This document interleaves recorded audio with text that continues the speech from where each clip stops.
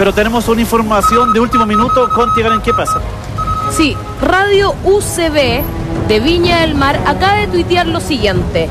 Fiscalía pide firma mensual y arraigo para Pablo Maquena, además de alejamiento a la víctima. Eh, ¿Nos puede explicar qué Además pasa de qué, entonces? Carlos? Alejamiento de la víctima. A ver. Hay formalización. Claro, eso quiere decir que fue formalizado. Hay cargo. Eh, insisto, formalizar no implica, no implica eh, condenar, ni mucho menos, sino que implica solamente el hecho que el Ministerio Público, en presencia de un juez de garantía, le comunica a Pablo Maquena, al imputado, que a partir de este momento va a empezar a ser investigado por tales y cuales hechos que los tienen que haber descrito eh, brevemente en esa audiencia. Y a partir de ese momento, el fiscal eh, queda habilitado para pedir medidas cautelares y tú dices que las medidas abogado, cautelares... pero, pero antes hay el establecimiento de un tipo, ¿cierto? Exactamente, se tiene o sea, que... un delito concreto. Exacto, o sea, el, el- el- Encontraron el fiscal, el fiscal tiene que explicarle al juez eh, el por qué, bueno, primero tienen que haber controlado la legalidad de la detención, que era el primer paso que estaba Sí. pendiente. Una vez chequeado eso y quizá haya controlado que la legalidad de la detención, es- o sea, que la detención había sido eh, bajo los estándares y así- había sido legal, se pasa al siguiente paso, si es que el Ministerio Público decide ¿Hay pruebas que- involucradas que acá? formalizar. Sí. Para formalizar significa que se tuvieron que mostrar algún tipo de. Para de formalizar, yo creo que en este caso no creo que se hayan mostrado eh, Más allá de los testimonios. más pruebas porque las, las medidas las medidas cautelares que se pidieron son bastante poco invasivas, por lo tanto es poco lo que tienen que haber tenido que justificar. Entiendo que se pidió arraigo y se estuvo Arraigo, firma firma. mensual Entonces queda y que no libertad. esa, a la víctima. esa- esas dos son libertad las medidas. Ojo cuando también empiecen a decir los medios de comunicación que no se decretaron medidas cautelares porque la gente asocia que medidas cautelares es solamente estar preso. Aquí sí hay medidas cautelares que son Arraigo y firma. arraigo y Muchachos, acaban de llegar las imágenes de la madre entrando a la fiscalía hace instantes, en exclusiva los tenemos aquí en intruso. Vean lo que está pasando. Esto es cuando ella se encuentra llegando a la fiscalía. Hay testigos que indican que todo esto es completamente distinto. Pero no quiere hablar. No quiere hablar. ¿Por qué no quiere hablar? ¿Es verdad que tu hija ayer fue, fue interrogada? ¿Es verdad que tu hija ayer fue interrogada? María, supimos que estaba hablando solamente con el matinal bienvenido. ¿Por qué eso? Por favor. No podemos hacer nada. María. ¿Por qué no quiere enfrentar María, ¿por qué no quieres hablar? ¿Por qué no quieres hablar ahora con los medios? María Fuente, madre de esta pequeña.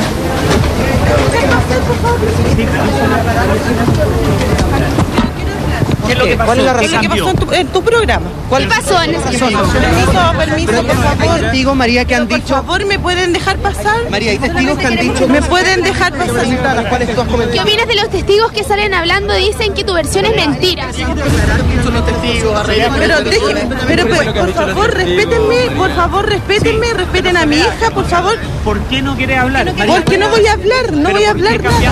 No voy a hablar nada. ¿Quieres hablar, No María? voy a hablar nada, nada, nada, nada. Permiso, por favor. ¿Qué pena esperas para Pablo Maquena, María? Pasado, hay testigos que dicen que tu María, mi hija está mal, mi hija está mal. Eso quieren saber, mi hija está mal. Ahora, María, el video, el video según indica el abogado defensor, en ningún momento se ve eh. Caos total a la llegada a tribunales de la madre de la menor, María Fuentes. Eh, se realice esta eh, formalización.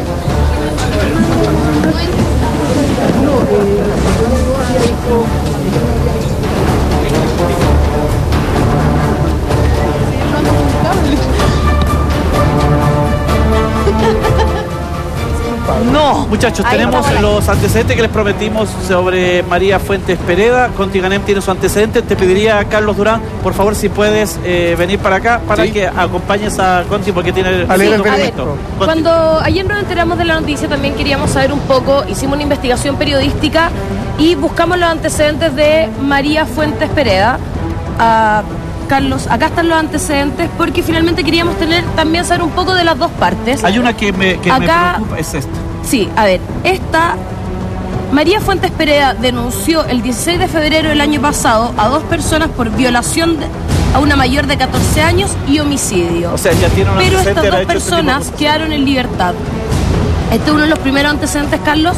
Y además encontramos otros antecedentes de la mamá de la supuesta víctima, en do- donde hurto simple por un valor de media menos de ¿Ella 4 acusa o UTM. fue acusada? Acusada. Todo esto son acusadas. Ok. También lesiones leves, amenazas simples contra personas y propiedades, hurto, daños simples, hurto simple. Son varias las causas que tiene, eh, María Perea. Ok.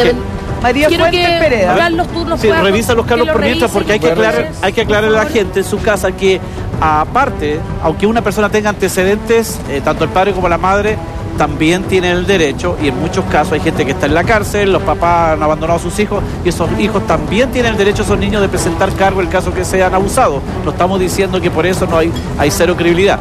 En este caso específicamente eh, quería preguntarte Carlos si le hace daño esto al juicio, al que tenga su antecedente, que ella ya tenga una, una acusación anterior contra otra persona y que esa persona haya salido también declarada no culpable. Eh, pero vuelvo a repetir, dejar en claro que hay muchas personas, no significa eso que todos los pedófilos van a ir a violar a los hijos de la gente que está en la cárcel, porque significa que tienen antecedentes. Carlos.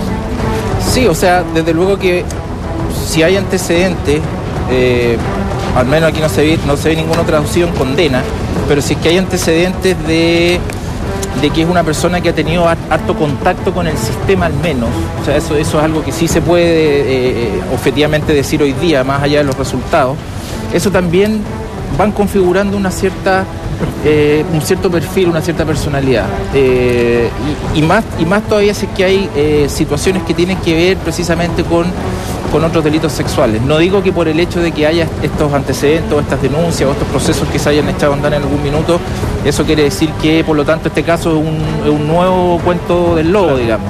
Pero, pero sí son, son antecedentes importantes que, que contribuyen porque además en este caso se presenta una dificultad, o se podría presentar una dificultad para la defensa, que sería, por ejemplo, poder pe- periciar a la madre, porque se podría eh, discutir si la madre es, es objeto o no de poder ser periciada como un objeto dentro del proceso, digamos. A la menor, desde luego, pero a la madre podría ser difícil. Podría ser difícil eh, tratar de extraerle un, un- un- un examen, una pericia de donde se determine su estructura de personalidad y esos exámenes son bastante reveladores, aunque uno crea que no, si yo me miro en Google Buen lo que hay que contestar en, certeza, en el a eso me refería no, cuando- son bastante cuando- reveladores esos, Pero, esos disculpa, quiero exámenes. hacer un solo comentario. Lamentablemente, esas pericias también pueden ser rebatidas si uno tiene el dinero suficiente para contratar a otro perito. Y eso es lo que a mí me da pena finalmente. Es que en estas cacerías de brujas, cuando no esperamos a tener los antecedentes, finalmente sentamos un precedente para que sea la gente que no tiene dinero para defenderse, que no tiene dinero para contratar peritos, la tiramos a la hoguera. Por eso es lo que pido yo es cautela, Sí, finalmente. Y no andar diciendo si esto es verdad o esto es mentira, Sí, finalmente. sí. Ahora, quiero hacerte una pregunta. Eh, eh, quiero volver para que a la gente le quede claro. Esto de que se pide una medida cautelar, ¿quiere decir que existen pruebas de que esto puede ser verdad o se está pidiendo una medida cautelar solo para tener cautela? No, no, no, no, no, ¿Puede que- ser claro y hablarnos como con peras y manzanas, sí, por favor? Sí, sí, sí.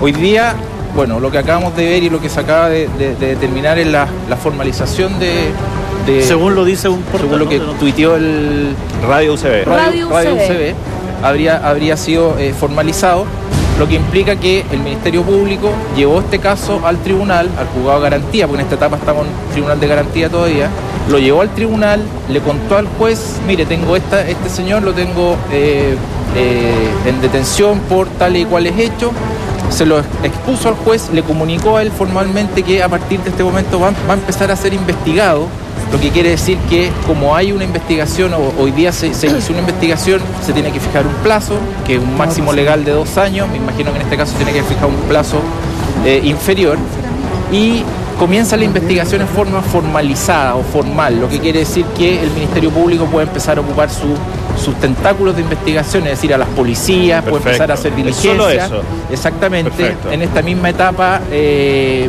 la defensa, según la estrategia que adopte la defensa, puede empezar a aportar antecedentes a la carpeta que le sirvan o se los puede eh, reservar para un eventual eh, juicio. En fin, recién se echa a caminar la investigación y estas medidas cautelares, producto de una formalización, se adoptan medidas cautelares y las medidas cautelares eh, que se, adoptaron son las menos invasivas, por lo tanto no hay, no, no se ha determinado al menos que la circulación libre hoy día de Pablo Maquena vaya a constituir un peligro. O sea, está Yo tengo arraigado. una, una- una pregunta simple y cortita. Por favor, en tu te- experiencia, ¿te parece, te huele aquí que hay una intención del de la madre de figurar y de armar algo con, con esto porque es una persona pública, Pablo Maquena?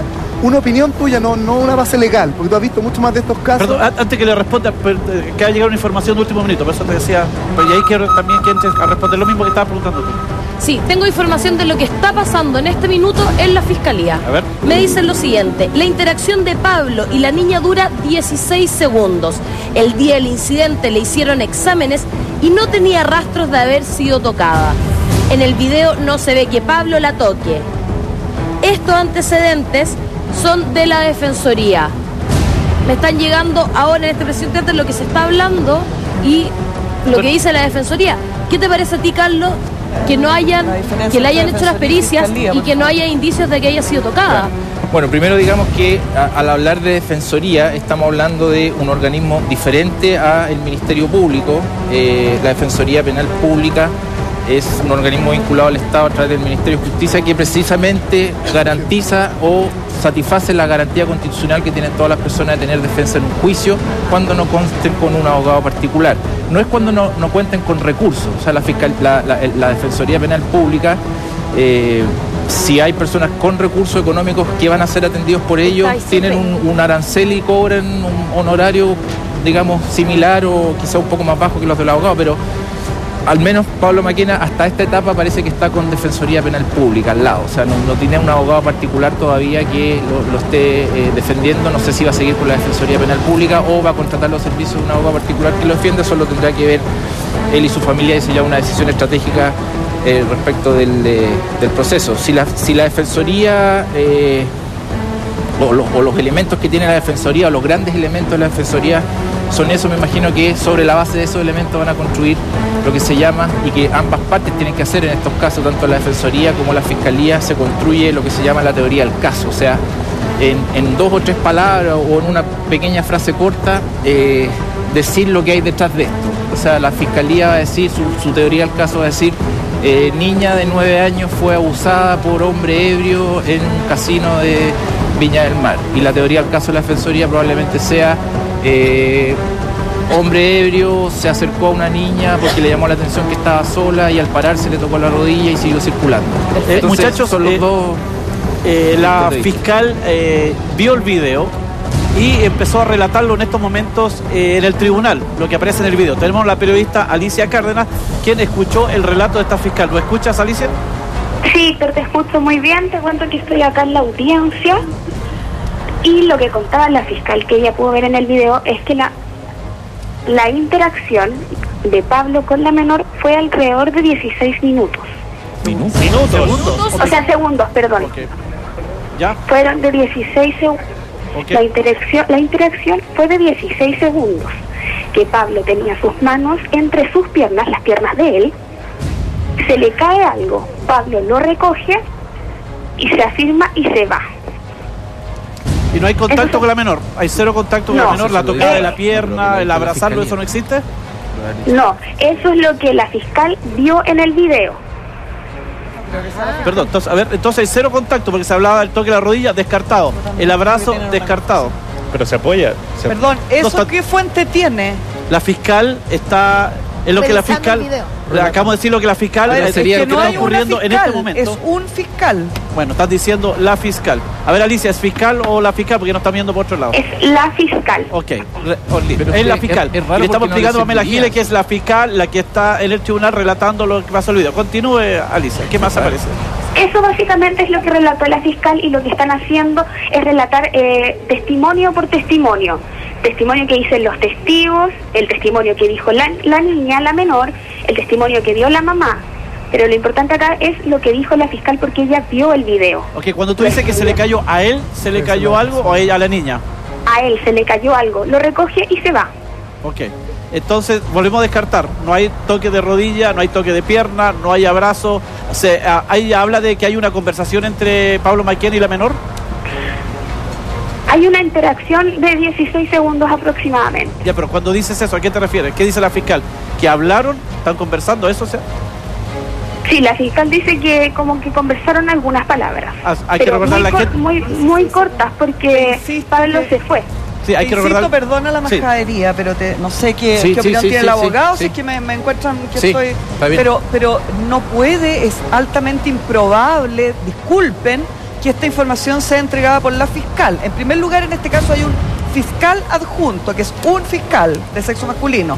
En segundo lugar, pudiera ser un, un ayudante o una persona que forma parte de la fiscalía, pero no creo, porque además la argumentación que se está entregando de los 16 segundos, No le sirve. aparentemente tendría como fuente la Defensoría, que es un organismo distinto.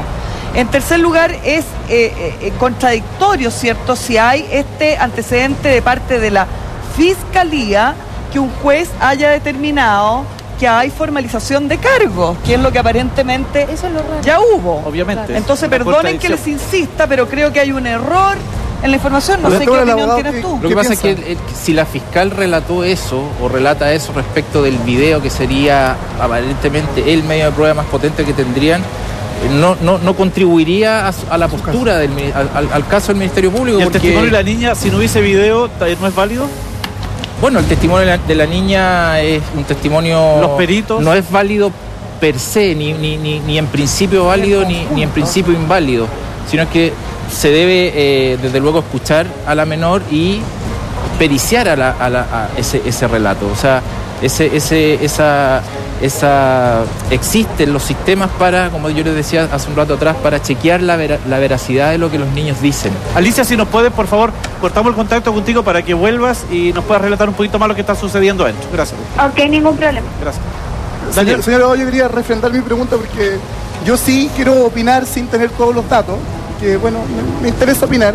A mí me huele, a mí me huele, personalmente, por lo poco que he visto a, a la señora, y, y sin saber los antecedentes, la señora Pa- Pamela Giles me va a querer matar quizás, que esto quizás se ha exagerado o se ha armado un poquito eh, en beneficio de esta señora, porque Pablo Maquena es un personaje público que más encima tiene antecedentes por alcoholismo, por choque con, creo que tiene la licencia caducada de por día, entonces quizás un blanco más fácil. Yo me metí a ver el Facebook de la señora y en su estado de Facebook, que no sé si es una prueba legal o de alguna validez, dice, Por supuesto que sí. dándoles de qué hablar. O sea, ella de cierta manera me hace entender a mí que se está jactando y está gozando de toda la atención que está recibiendo. Lo que no hace menos, menos válido su testimonio, pero usted que ha visto más casos, ¿es común que pase esto? no es común, no es común, desde luego que no es común la, la- actitud de, de la víctima o de una madre que cuyo hijo ha sufrido un ataque de esta naturaleza, eh, por lo general desaparece, por así decirlo, Lo o se que sumerge. cambiar mi estatus de Facebook. O se sumerge. No es común que se abra eh, por, por mucha presión que pueda tener de los medios de comunicación.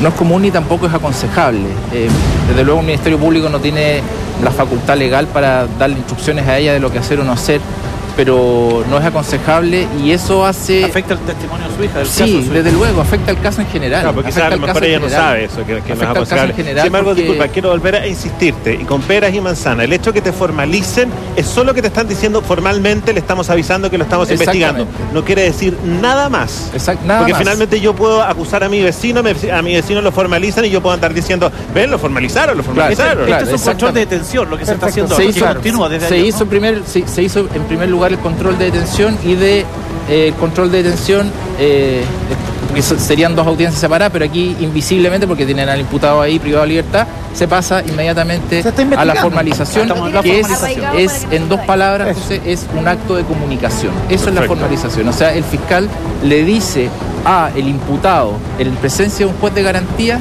eh, señor imputado, a partir de hoy día yo lo voy a investigar por este delito.